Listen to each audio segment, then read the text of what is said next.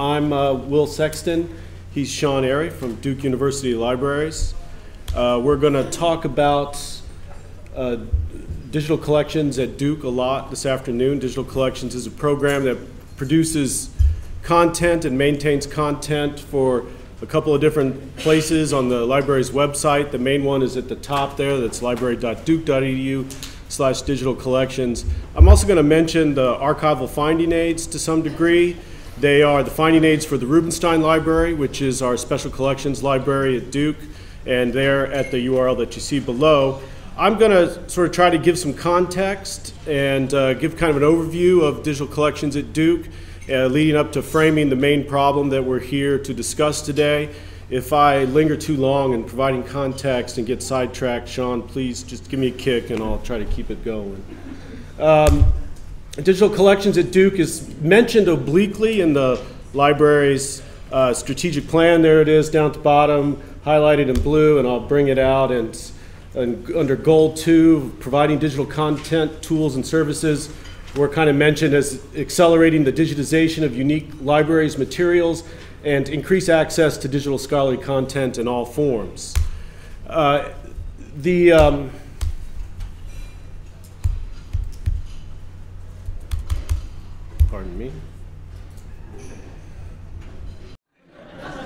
I'm gonna, I'm just gonna keep going and maybe I can get it kind of back up at some point. But, um, so this is the, um, this is a digital collections grid that comes from a blog post by Lorcan Dempsey in which he talks about the, um, uh, the, the resources in the library. He organizes them into four uh, uh categories according to the level of stewardship that the library provides and then also the level of uniqueness of the materials. And working with digital collections, we tend to work in that lower left-hand grid there with materials that are uh, of high uniqueness and uh, require high stewardship from uh, library staff. They uh, tend to be special collections but are not limited to special collections. Okay. I'm going to sort of talk about uh, how we approach this in terms of three challenges. Uh, the first is the organizational challenge, um, and it kind of has to do with how we select materials for digitization, set objectives, support the processes. Very quickly, I'll talk about that one. And then content, how do we sort of deal with all the variety, the very heterogeneous collections that we are tasked with handling. And then finally, discovery, how do we help researchers to find and use our collections? So Sean and I are members of a team called the Digital Collections Implementation Team. This is it here. Uh, the membership of this team has kind of expanded and contracted over the years. We've done some reorganization lately that has led to it kind of being stripped down. So it has four members now, but I kind of expect it to grow in the near future. We draw a metadata librarian from the Rubenstein Library Technical Services, a lead production developer from the Digital Production Center, which is where the, most of the digitization actually takes place, and then this is uh, Sean and me, the uh, lead designer lead programmer for the implementations team, and we uh, work in the digital projects department at Duke. We also we have a number of other uh, uh, parts of the library that are in our orbit that we work with very closely. Uh, over here on the far right, the Rubenstein Library Digital Collections Collection Development Group, which is a newly formed group as a result of the reorganization, and they are tasked with assessing proposals for digitized materials from their library. Uh, we also work, of course, very closely with conservation, a very important partnership. The conservation department actually adjoins the Digital Production Center at Duke, and they always work very closely together. We work with cataloging and metadata services to provide description of materials. And then over here, the uh, digital projects and production department head is our boss, Deborah Kurtz, who's here. Hi, Deborah. And uh, her boss is the IT director at the Duke University Libraries. And uh, I kind of put them there because if we receive uh, proposals for uh, collections that are not from the Rubenstein Library, we'll go through uh, them as kind of an ad hoc collection development committee. Uh, I'm going to give a real brief overview, and the animations were awesome on this. Let's see if I can actually, maybe I can get it to work, and if not, I'll just kind of muddle through. But um, I'm just going to give a, a, real brief or a real quick overview of the kinds of content. Nope. Okay. That we work with um, in the uh, in digital collections, and kind of a quick, like a quick historical tour of digital collections at Duke. So. Uh, one of the first projects that we worked on was a papyrus collection.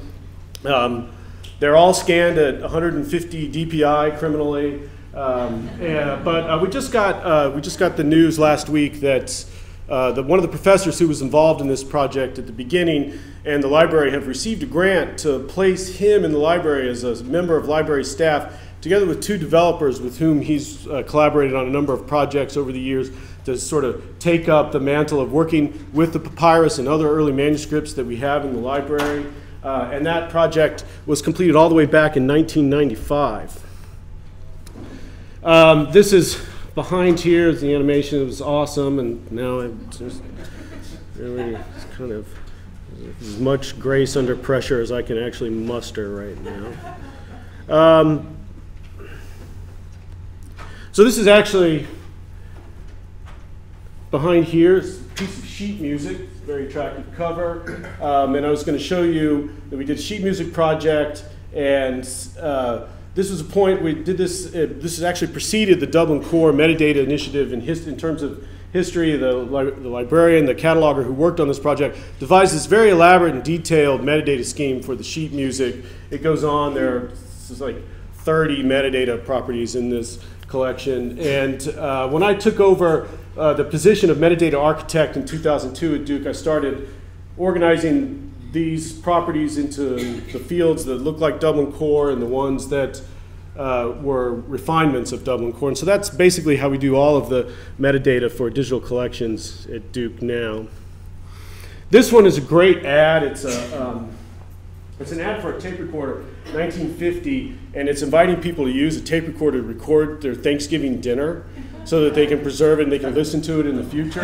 Uh, and when I saw that, I thought, so when, when Duke Digital Collections wants to digitize that, you, you, probably don't need to get the release forms from Grandma and Grandpa, but make sure that little Timmy and Susie sign theirs for us. Um, this was the first of many advertising collections that we've done. We have very strong holdings and advertisements, and it kind of introduced the product and company um, metadata fields, which are common across all of these advertising collections. You'll see a couple more examples as I go through. Um, 1999, we did a photographs, the William Gedney photographs collection, which uh, William Gedney was the first of a number of very important, uh, interesting photographers that whose collections we've digitized over the years. Um, and then right about then, 1999, all these projects were kind of grant funded. They're uh, kind of the, the uh, program coordinators brought in um, outside monies to fund these programs or these projects. And then that all kind of stopped, and for a number of years, it was kind of a fallow period for digital collections. Starting in 2005, excuse me. That's okay, thanks. Um, that's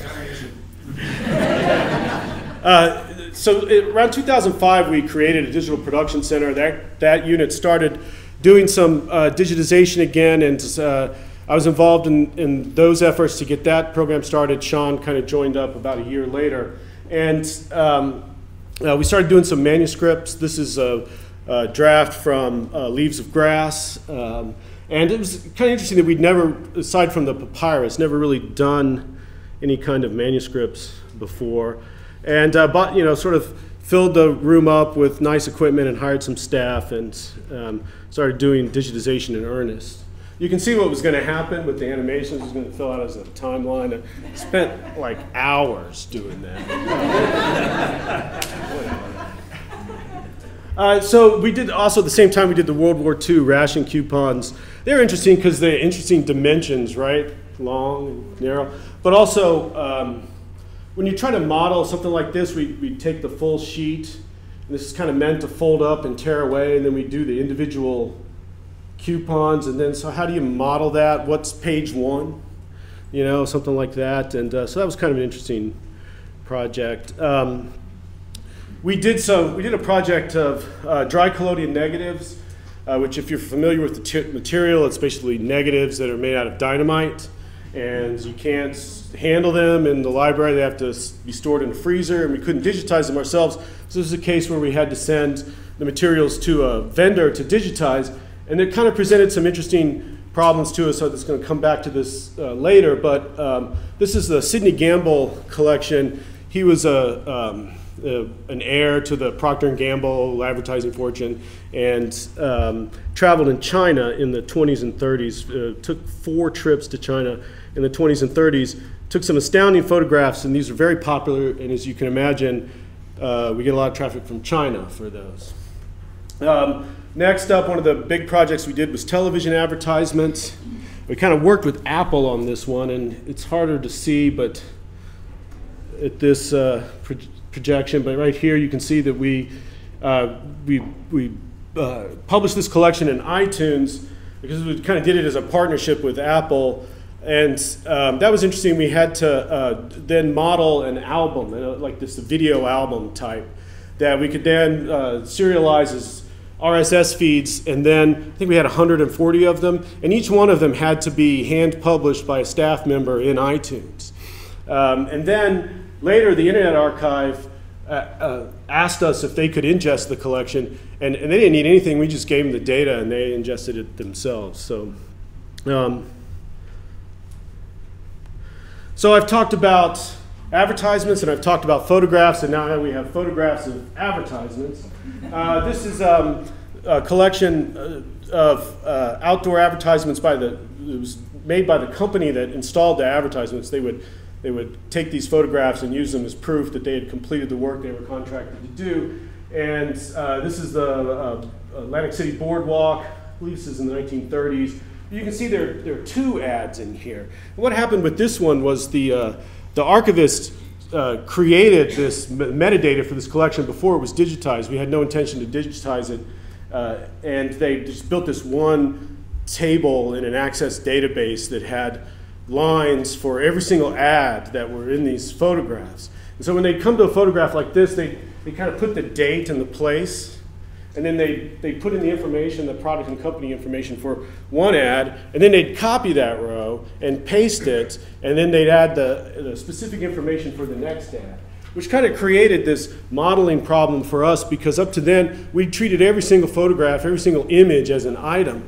And now suddenly we had to treat an image as something that contains advertisements. And so we had to create a whole new kind of model for this one. And also, um, the table was never, that database table was never meant for a digitization project, and we had to do a lot of untangling. Next up, and I believe this was last in my review here, uh, oral histories, where we had to um, have a different album model. We published these in iTunes as well. We had to have a different album model because the, uh, the, the advertisements, we had one file per advertisement, but the oral history interviews have multiple files, including PDF transcripts or Microsoft Word transcripts. And so this was a little more complicated, and uh, we're actually doing more of these now. So I mention all of this because um, this process of modeling things is really important to us in how we present these materials to the researchers and to users. And we consider this modeling process to be part of the chain of provenance for the materials. This is like the digital publishing part of the chain of provenance. And I'm pleased to cite a definition from our now retired former colleague, Steve Hensen, who was one of the kind of uh, movers behind those early collections, those grant driven collections that I talked about. And he talks about provenance. This is from the uh, SAA's Glossary of Archival Terms. And uh, he talks about provenance as uh, you know, the, the significance of archival materials is heavily dependent on the context of their creation, and that the arrangement and description of these materials should be directly related to their original purpose and function. And we feel it's really important when we are uh, preparing these materials for digitization and publication on the web that we're able to reflect as much of the arrangement and description of the materials from the archives as we possibly can. And I think that when we start to talk about discovery of materials in just a few minutes, we want that work to be reflected in the discovery platforms that users use as much as we possibly can make it. So um, this was kind of an interesting example. If you can see this photograph, we saw this. We had no idea what was going on in this photograph. This is from the Gamble collection. So if you can see, there's this kind of guy lying on the ground, and there's another guy with the blindfold who seems to be hitting him with something. and it had this uh, caption, and uh, so these uh, Gamble uh, photographs came with these labels. Every single one of them was in a sleeve with a label on it. And when we sent them to the vendor, we asked the vendor to digitize these labels because we had no idea. I mean, we couldn't look at these. You can't look at photographs of China in the 1920s, and unless it's the Forbidden Palace or some recognizable landmark, you have no idea how to describe the material. So this was all we had. And we decided when we were publishing this collection that we needed to publish these labels, and we put this kind of disclaimer label text derived from Gamble's handwritten notes because this is how we got it from the donor who gave it to us. And then uh, Sean and I gave a version of this presentation a couple weeks ago at the School of Information and Library Science at University of North Carolina. And so we had no idea what's going on in this um, photograph. And uh, within five minutes of me showing this slide, one of the students had like found it and explained to us that there was a game called Are You There Moriarty, which involved lying on the ground blindfolded, and he kind of calls. It's like it's like Marco Polo, uh, but but with uh, with hitting. And, uh, and I thought that was great, and I thought, you know, if the world were only fair, we could hire her, uh, like right there, we just offer her a job. Um, so, so that was kind of a modeling challenge, but now how do, how do we model this? This is a, um, an anatomical flat book that was used in the late 19th, early 20th centuries to teach anatomy. It's kind of like a pop-up book, as you can see, and it's very elaborate, and this is a project that we're about to take on, and um, this may be the most challenging modeling exercise yet. And then just uh, real quickly, a couple of other things that we are working on. Uh, some newspapers that we're going to publish, and newspapers have their own kind of publication issues and concerns. We're publishing the Duke Chronicle, and then uh, some early manuscripts, which are also is also a very complex project. And so, I've done it again. So uh, this kind of brings me to uh, the main uh, issue of our presentation today, which is to talk about how to how do we um, help enable users to discover these materials. It's something that we've kind of wrestled with a lot over the years. And as I said, you know, a couple slides ago, we put a lot of work into the curation of these materials, and we really want that work to be reflected and to assist uh, users in, in finding our materials as much as we possibly can.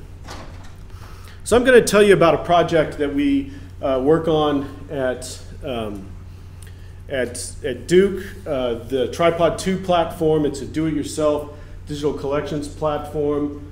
Uh, I'll explain a little bit more about how, what the architecture is in just a moment.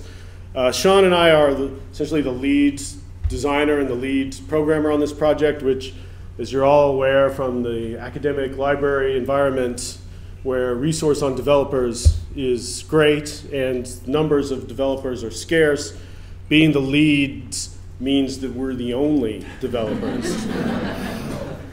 we get help from people, other contributions from folks now and then, but we've basically uh, been uh, kind of the caretakers of this platform for a while. And so it supports a number of different content types, digital collections, archival finding aids, and a couple of others which I won't uh, go into. Um, this is uh, kind of our, this is what our software stack looks like. And uh, this is kind of all of it. I'm not going to go into everything that's on this slide, but um, we have XML as the data layer, Solr and Python. Solr is an index and search engine platform, and Python kind of in the middleware. We use Django web uh, development framework, and then we kind of have all of our different content models here. We kind of build out of Django, and then the uh, UI layer is um, HTML and JavaScript and CSS. Now, I'm going to just pull that red blocked out section out to highlight some things. And, um, and this is just bringing out that one section. And just show you that this section here is where we've divided this into discovery and access. access is really when you get an item on a page or a, or a collection portal page. And discovery is where you're doing, you're getting search results. You type in search terms and you get results. And um, uh, this is this block here is really kind of the most complex part of what we do. This this part here is, is relatively easy for us. This is more complex, and um, Sean's going to talk a lot about usage data.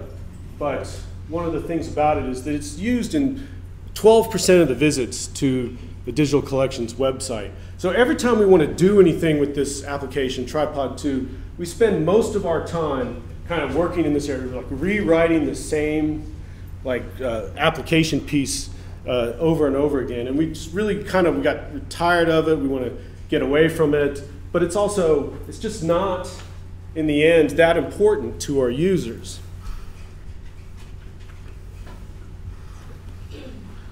So um,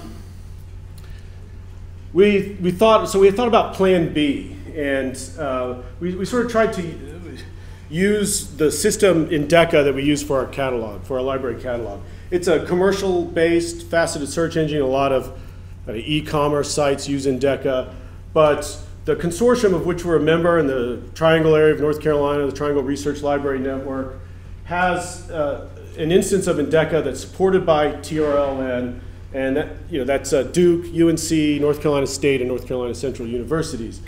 And so we thought that we would, it's also the uh, platform for our library catalog. So maybe this is, seems kind of drastic, but that anima animation that was supposed to drop out. But uh, so uh, we, what we thought we'd do was just basically like a discovery transplant here, right? That was the, the idea. We were going to take out that custom built piece that we did and replace it with Endeca.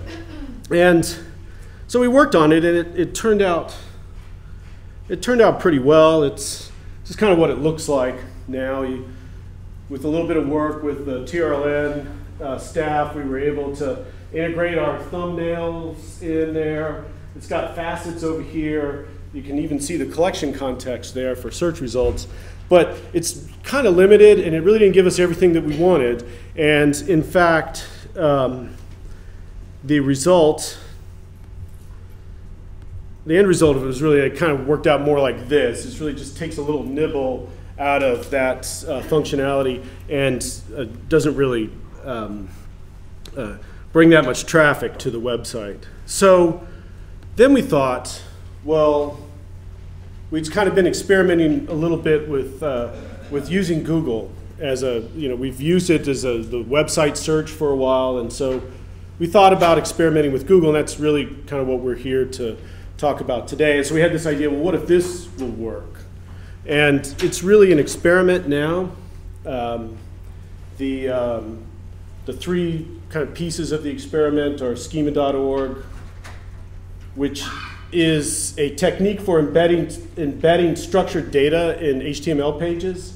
It kind of gives you the, the use of things and not strings. It's really kind of a linked data platform and enables potentially, theoretically, enables the use of rich snippets, which Sean's going to show you uh, a little bit more about. But rich snippets are when you kind of search for a Best Buy in your, in your neighborhood and you look at the Google results and you see the phone number and the address of the Best Buy. The, Google's using rich uh, structured data there from the Best Buy's web pages to display that information for you in the search results. Uh, Sitemaps is another framework that allows you to do targeted uh, uh, indexing. With Google, you're basically telling Google what you want it to index and when you want it to be indexed. And Site Search, which is a way to pull the Google tools into your own local environment. And so I'm just going to leave you with um, one last slide. Um, and it's really three numbers that we use to think about, that I use to think about this problem. 80% um, of the time that Sean and I spend developing this platform involves working with the discovery functionality. This is est estimated. Uh, twelve percent is the number of, is the is the uh, number of visits to the digital collection site that involve the use of this functionality, And 70,000 is the approximate number of items in digital collections. If we think back to that, uh, that collections grids, you know, 70,000, we put a high level of stewardship on those materials, but there are a lot of other resources in the library collections that are either unique to, the lot to our library or over which we've kind of uh, provided this high level of stewardship. And can we pull those, um, those materials into an approach to discovery as well? So that in the end, the problem is how can we extend the impact of our work? And I kind of mean this in two ways. The first is how can we reach more people but spend less time working on the platform? And number two, how can we pull in more of the library's resources into a search framework or enable other content providers in the library besides digital collections to build to a particular framework that would uh, allow their materials to be searched and discovered by users together with the digital collections. And so with that, I'm going to turn it over to Sean, who's going to uh, talk about the, um, the this solving this problem in more detail. I'm going to try one more time to get the the slide uh, the slideshow to project. Maybe I should try. Maybe Google likes me better. Could be. You're a lot nicer to Google than I am. it's loading, loading bar. Oh, maybe that's it. You should just wait awesome. until it loads. That was probably it. Yeah. Patience. Okay, so I'm going to talk about discovery, and I'm going to get to schema.org in a minute, but I want to sort of set the table first. Lorcan Dempsey from OCLC, uh, one of the great thinkers of library discovery, really helps us frame the problem that we're trying to solve and then gives us a call to action. Uh, the problem is, these materials are, are, great, there's some great stuff in there. They don't really have their own gravitational pull that's so compelling for everyone to try to find them there. Uh, right, so it becomes important to actually care about SEO, to actually syndicate your metadata to these other hubs that are in, in users' more natural workflows. Uh, we can't just kind of go it alone and expect people to go find the library website and find our materials. Um, Dempsey says libraries have to take a more active approach here. So do something. We can't just put our, put our content up, expect that Google will have the correct representation of it, expect that uh, uh, any of these other sort of clients will then interpret it the way that we would want uh, the information to be interpreted. Um, uh, uh, he uh, mentioned this at his presentation, the, the opening plenary. This is another Dempsey concept of inside out and outside in collections. So outside in collections, all library resources are not sort of created equal. They don't need the same strategy behind discovery. So books and articles, the, the, sort of bought and licensed materials are outside in resources. The things that are out in the world that the library is then trying to provide access to to its internal audience, right? Uh, but this, this corner that, that Will talked about that we're in, we're, we're working with inside out resources. These are materials that are distinctive, they're, they're internal to, to us, to Duke, only we have them. And the discovery is, we, we want to optimize discovery for everyone in the world outside of the walls of the library. So different strategies involve, different approaches, different ways to think about discovery uh, in this particular domain that we're in. So in the past year, this is even with, even with a passive approach, um, only about a quarter of the visits to our digital collection site are coming via anything that we're doing on our sites, whether it's the, uh, the, the, library catalog, which all of the digital objects are uh, accessible through, and the collections, uh, the library website, librarians' research guides. Uh, no matter what we do, uh, it's, it's largely the traffic coming from other places. So uh, places like uh, referrals, so referrals from hubs like Wikipedia, Facebook, and then search traffic is is a very significant number. So over 30% more traffic is coming to this stuff through search engines than is coming through our own efforts on our own sites. And obviously, uh, you don't need three guesses to uh, figure out which search engine is dominating those, those uh, statistics. Um, Google matters the most. Um, so Google is important strategically. Google's important for us to think about, to actively uh, create a strategy around. We have to optimize the representation of our materials in Google. Um, when we talk about that, it's uh, SEO. But SEO is different than it was five years ago, right? Some people hear SEO and they cringe and they say, well, that's all about nefarious schemes to, you know, set up link farms and you know, keyword stuffing. And uh, SEO doesn't have to be a bad word. Uh, and particularly now, within the last few years, SEO has really uh, evolved to the point where linked data and structured data within your pages is, sort of the, the, hot area in SEO. we're really interested in that. We're, we're, not, we're not interested in trying to game Google or trick Google into believing things about our collections that, that are not true. We are interested in most accurately representing semantically what objects we have in our collections in a way that Google understands. So the first, the first challenge is telling Google what pages of ours and which images to actually add to the index. Will mentioned uh, sitemap. Sitemaps.org uh, was an effort that Google collaborated with other, uh, with other search engines on, uh, it's sort of an XML standard to uh, indicate exactly which pages you want indexed and when and what images are within those pages that you want indexed. And then Google has a really good webmaster tools that enables you to, to sort of submit those sitemaps and see how much of your stuff is indexed uh, a whole suite of tools, also some structured data testing tools that are associated with that. Um, we're, we're, getting a lot out of using Webmaster Tools. I can't believe we, we hadn't used it until just like this previous year. Um, highly recommend it. And then so if we've indicated which pages we want indexed, the next challenge is how does, how does Google know what's in, what's in those pages? What kinds of objects are represented? Um, so you know, a human being looking at this page can very easily uh, know that this is a photograph that has been digitized. It's a photograph that was digitized that was uh, taken by William Gedney in about 1955. It's a photograph that's from a collection called the William Gedney Photographs and Writings Collection. Um, all of those things, um, the way that this, this site looks, a human being can understand. Uh, a machine can't without a little bit of help. So this is the old school way of, mark, of markup, structured markup uh, there's some structure here, right? There's a heading, there's an image, there's an unordered list with a couple of list items. Yeah, there, there's, there's some structure, but there are no semantics, right? A, a machine isn't going to know that creator colon Gedney William Gale is uh, actually, that's the guy who made this thing, right? So enter, so this is, this is not, not quite the approach that we're talking about. Enter structured data in HTML, right?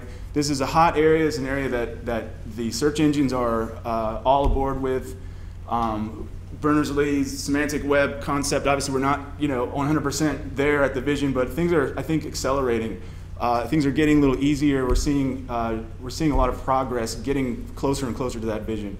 RDF, not a new concept, late 90s, very good foundation for the semantic web idea. Um, uh, also, uh, kind of complicated if you're uh, coming at it like if you're a web designer like me. It's a it's verbose. It's complicated to pull off. Over time, things are getting there's more convergence with RDF and and the HTML representation, and there's also uh, it's just gotten easier. The syntax has gotten easier. There are flavors of of representing structured data that are just way easier to sort of wrap your head around uh, than full-blown RDF. Um, especially RDFA Lite, which is a, a, a newer uh, flavor, but it's so it's so so simple um, to do that uh, I, I, can't I can't imagine uh, not doing it anymore for any future projects. So. Uh, so for any idea to take off, structured data really being hot, for any idea to take off, it has to be easy enough for people to actually um, be compelled to do, to, to um, be able to do. And then there also has to be some sort of killer app or some motivation for people to do it, right? So it's one thing to have structured data in your pages, but if you see no returns or no results from doing that, why, why bother, right? So, so killer apps, um, here are two, uh, two companies who really care about linked data right now. And um, both are, are important and both provide some motivation, right? Google, about a year ago, created the knowledge graph, um, and the slogan is, is awesome, things not strings. It's such a great way to sort of summarize in one small slogan what the, what the, what linked data uh, is and what it can, can do. Um, we have uh, a search for James B. Duke, and instantly on the right-hand side, we're getting information about uh, his vitals, who he was, who's related to him. All of that uh, coming from linked data that Google ingested from somewhere on the web, whether it was DBpedia, Freebase. Uh, Google is, is caring about and using this linked data in a way that enhances their search results. It's in their best interest to do it, and it's in, it's in everyone else's best interest to, to provide information that they can then use. So not only the uh, knowledge graph presentation, but you'll see, we see this concept, rich snippets. And Rich Snippets is not just the name of the guy at Google who makes your results look pretty. It's, it's, it's a really compelling uh, presentation of, of, results based on what's actually represented. So example is this vanilla French toast recipe. where right in, right in the snippet we can see that this is a recipe that's going to take you 10 minutes to make, and it's got 332 calories. You can see every ingredient, right? So that's really helpful information to be um, to see right in the result if you're looking for recipes. And beyond the actual presentation, that same structured data, Google then provides uh, search tools to then filter your results. So in this case, if I am looking for a French toast recipe and I love cognac and I don't like bananas, I can check those yes and no boxes and I can filter and refine my results to just things that I would like. Um, so that's, that's really helpful. Facebook, uh, Facebook is uh, created a vocabulary that uh, you can implement using RDFA that's the Open Graph. So uh, it's a way to make your web pages play nicely in the social sphere, turn, turn web pages into social objects. Um, we are using uh, Open Graph tags now in our, in our site, and it makes it really easy when I want to link to uh, an object from digital collections. Facebook using, using the Open Graph tags knows exactly what the image is and what uh, description to use. Um, and, and so both Facebook and Google uh, on the, the sort of the, the structured data train. Um, so, so we have mechanisms for putting structured data in our web pages, and the question becomes, well, what, what vocabulary do we actually use to describe the things that we're talking about on web pages?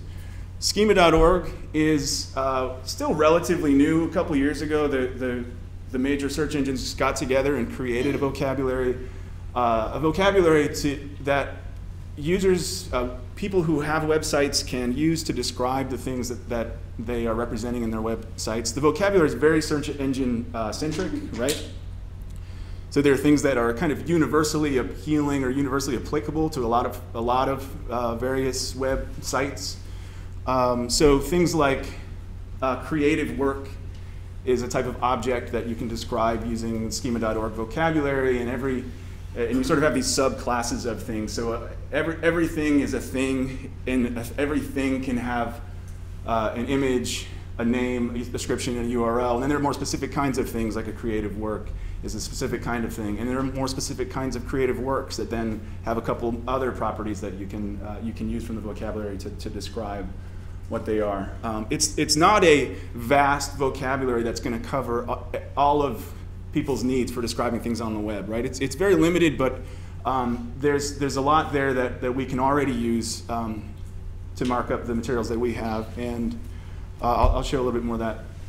So we talked about rich snippets. Now, what kinds of things from the schema.org vocabulary actually give you rich snippets on the search on the big Google search results screen? There's actually a lot events, music, organizations, people, products, recipes, reviews, uh, software, videos, and breadcrumbs from sites. That sounds like an impressive list, and, it, and it, a lot of uh, people can have been, you know realize benefits from marking up these kinds of things. Um, with the kinds of digital objects that we're trying to represent, we, we don't have a, a lot of alignment here with things that we will instantly get rich snippets uh, by doing. Um, but as Will mentioned, uh, you know, one of our, our aims is improving our representation in Big Google, but we're also uh, working to uh, have this localized Google experience where we can build our own rich snippets, uh, regardless of whether Google uh, turns them into rich snippets for everyone on Big Google. So uh, using schema.org vocabulary, the, the item page that I showed, we can, at the, the very root level of this web, web page, item page is a type of, a type of web page, which is a type of creative work. The, uh, the item page has a creative work represented in it, and that is the creative work is the photograph. Uh, the photograph has a media object, which is the, the JPEG that is here, the digitized version, and the creative work has uh, all this metadata at the bottom, which then uh, we, we can also use schema.org properties to describe, uh, to, to describe these, uh, these fields. Here's an interesting, uh, interesting concept or interesting use of schema.org. Also to relate this particular page or this photograph to the collection that it's from. So uh, uh, what's highlighted here is some RDFA Lite where we can say property equals schema namespace is part of to make this sort of predicate that's saying this is a, a page that is part of this other collection page. And then down in the metadata where some of the, some of the magic happens, um, more RDFA uh, property, for example, the uh, William Gedney's name in the metadata field, we can just have property equals schema creator. And that instantly maps his name to the creator field for uh, the creative work in the schema.org vocabulary. We can mix things in here, so you can see uh, for identifier, we've used DC identifier to be representing some of the metadata in Dublin Core. And you can even mix, uh, we haven't done this now, but we can very easily, for uh, William Gedney's name, put schema colon creator space DC colon creator. So we can, so we're not just you know, using schema.org as a, as a replacement for the Dublin Core that we already have. Um, it's, they can kind of work in tandem, and, and RDFA makes it really easy to sort of mix these vocabularies in that way. So if we've got things represented, we're using, we're using vocabulary we want to use, we've got the images and the, index, and the pages indexed that we need indexed, then the challenge we turn to is uh, putting Google back in our site, right? putting Google in our stack. And if Google is part of our stack, it's, it's actually pretty good for us because it makes it really hard for us to neglect our presence on Google. And we, we really, really need to care and be aware of what our users are experiencing as they're using Google to find our materials, right? So this, uh, other people might call this dog fooding. We want to use the products that our, our, our users are expected to use, and, and then we'll gain some empathy toward their experience. I think uh, before we started really seriously looking at this, there, there were times uh, for, for too long that, for example, we had been accidentally blocking Google's robot, uh, Google's uh, images crawler, and we, we had nothing indexed in Google Images. And you know, this is the kind of thing that you, you notice if you're actually relying on Google as part of your stack. So Google Custom Search at Google is not, you know, if, if, if there are concerns that Google is the anti-library or it's the enemy, uh, you know, it's, it's not a huge stretch that we'd be talking about adding Google to the stack. We, we use Google for the library website search, Google Custom Search, that's free. Uh, it powers it, it's, it's great. We get, you know, nice relevance rankings. And digital collections are, are also indexed in the library website search, and they come back. Uh, you know, we're already sort of a little bit there, where we're taking it a little bit farther. Uh, so, so we could just, you know, throw Google Custom Search free with no structured data and let that be the digital collections interface, right? Um, it, would, it would get us part of the way there. It's pretty good, uh, but what it, wouldn't, what it would take away is this ability to search on particular properties, right? Advanced searches, uh, facets, and, and, refining by properties. Those are important uh, functions that we need to support. So that's you know, just a uh, out-of-the-box Google Custom Search, not quite good enough. Google Site Search is highly customizable version of Google Custom Search. Google Site Search, highly customizable version of Google Custom Search. Um, it costs a little bit of money. It's not you know, prohibitively expensive. Um, they, they offer several APIs to be interacting with the data, which is cool and also frustrating at, at times uh, because we have so many choices. Here's an example of the work that we've just kind of been tinkering with. This is using a, one of the JavaScript APIs where we can do a search on Pepsi and then present make our own rich, rich snippets. You can see here we're pulling back particular properties that we expressed using RDFA, schema.org properties, and spit them back out into the, into the interface. Here's an example using the XML API, which is just an example to show that we can query Google and get XML representation of what they indexed from our site, from our structured data um, that we had embedded. And we can develop against this XML, and we've experimented with this as well. And then there are other goodies too. So image, Google Image Search also, uh, they, they, you get the APIs to the image search tools. Uh, a lot of our materials are image heavy and have really compelling images. Google also gives you an API to use their filtering results for images. So they have things like search, uh, filter by faces. So this is just you know, faces of digital collections, just based on what the Google Image Index has determined to have a face in it. Some of these, you know, no, no librarian is going through and saying, there's a face, so I got to add a face metadata field. It's all automatically determined by Google's algorithms. Same thing with color, search by blue. Um, so these are tools that we're, we're getting uh, by using the Google API that we don't have to develop ourselves and metadata we don't have to create. So, so far, um, I'll share some of the lessons uh, as we've been working with this data and, and, and working with this idea of adding Google to the stack and relying more on it as a more central part of what we're doing for discovery for the, these materials. It's a little bit harder than we thought. I think um, even two months ago we would have thought that we would have this live on the site and you would all be able to be you know, clicking around on it as you're watching uh, this presentation. We're not quite there. Um, it's harder than we thought because I think of all the choices that we have to make. One of the choices is uh, how to express the structured data. So there's microdata, there's RDFA, and then RDFA Lite. Uh, we, we've experimented with each of these approaches, and each one um, Google picks up in a different way and, and, and, and presents back to us slightly different structured XML to work with. Um, so we're, we're still even not 100% sure which one of these three is, is the most optimal uh, for our needs. So there, there's the mappings, right? There's the vocabulary of schema.org and which of the fields actually make sense and are an accurate, you know, kind of crosswalk to what we have, and those are decisions that we, we need to work with. There's sort of the, the, the, concept of how to mix the vocabularies um, uh, correctly and have all of that represented right in that presentation layer. Uh, as Will mentioned, uh, that METS is that at the data layer, everything's stored in METS, and we use this qualified Dublin core. We can't spit it all that right back out on the presentation layer and use that but we want to mix, we want to use the vocabularies um, that we want to use schema.org in addition to those uh, library-specific vocabularies. And then the, the different, the three API flavors has also been a challenge because uh, they all kind of give you different uh, capabilities for interacting with the data and for de developing against it. Um, so just a lot of choices to work with. Not really well documented, which is also challenge, uh, a challenge for us. Um, the indexing isn't on demand. So as we're sort of doing this trial and error, a lot of times it's like we'll build a test page and then like submit it, and then we'll have to wait three days to see if it actually did what we wanted it to do. Um, and then the images are getting indexed at a really slow rate. The, the pages get in indexed pretty quickly, but that, that's frustrating for our testing of the, the image search tools. And then the big Google um, rich snippets are, maybe we kind of expected this, but they're, they're mostly elusive. We don't have a lot of, uh, a lot of examples of things that uh, look differently in big Google searches now that we have schema.org markup on our pages. I will share one success story. This is uh, that AdViews collection that, that, that Will talked about, where we have these albums of videos that, uh, of commercials, right? This was pre-schema.org. We had really the standard snippet where you have the, just, you know, the title and uh, a little snippet of text. And then after we had schema.org tags, um, I think we marked them up as video gallery objects.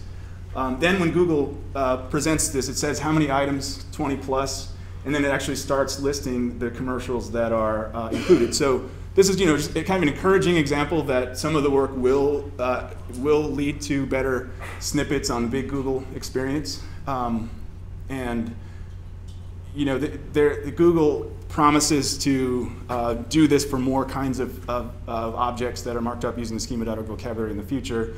Um, so, you know, we'll see if we can get more than this. So what's next? We got to put in, somewhere we've got to build it uh, so users can actually start using it in the, in the live site. That'll hopefully be within the next couple of months. Um, we'll feel like it's cooked enough to share it, and, and hopefully you all might take a look at that point and give us some feedback.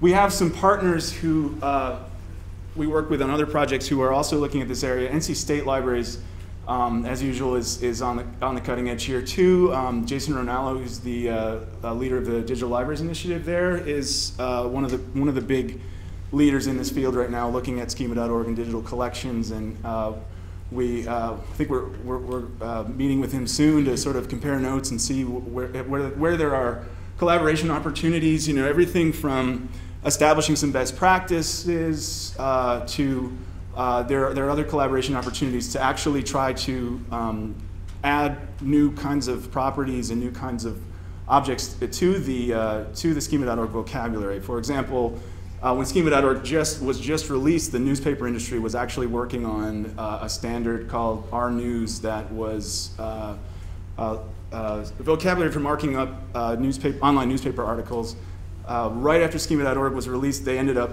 the, the newspaper industry got all of their uh, vocabulary added to the schema.org official vocabulary. Uh, you know, you, you, you how, many, how many standards do you want? Like, it was nice that they could just use what their work and develop, uh, add to uh, a standard that others could use. So we need to measure, is there any impact? Like, uh, we know that, you know, rich snippets is a possible outcome. Are, are, is structured data actually used as signifiers of relevance? Does it help um, with click-through when people get rich snippets? We're starting to measure these things. We have baselines established and we're measuring every quarter and taking screenshots of, of, of the search results for key kind of uh, landing pages. And then locally, we assess, does this actually give our users a better discovery experience? And we have a lot of ways of, that we do that at Duke. And then do, do, do we as developers end up spending less time maintaining this part of the stack if it's Google and not Solr. Um, and so here's where we are.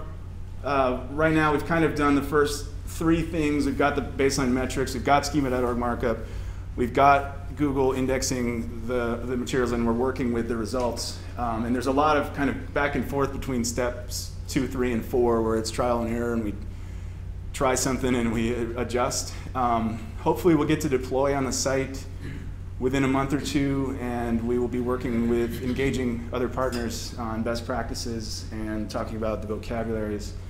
Um, and then obviously just assess what we're doing and, and continue to enhance and refine it. Uh, so that's where we are. Hopefully, within yeah, within by the summer, we'll be able to share a lot more with you all about what we've found, and we'll share some links so you can try it out and, and let us know uh, what you think. So I think that's all that we've got, and we've got about 10 minutes. Okay, well, thank you all for coming, and thank you for those who stood in the back the whole time. So.